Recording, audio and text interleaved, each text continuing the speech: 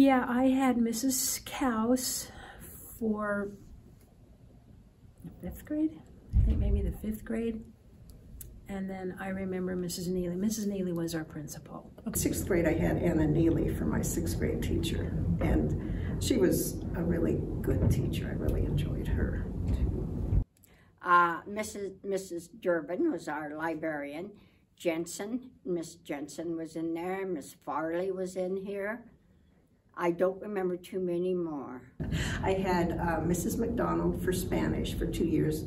She happened to be the wife of the superintendent at that mm-hmm. time, and she was very supportive. She, I, I loved languages, so I kind of excelled at that, and so she gave me these foreign language magazines to look at. Some of them are very strict, but you know, we didn't think of that back then because that's what parents did too, was they were strict. I mean, you know.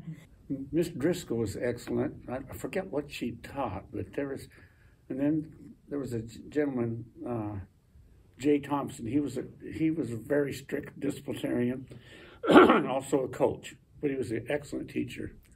And then, of course, the library. All of them, you know, at that age, teachers we loved them all. So.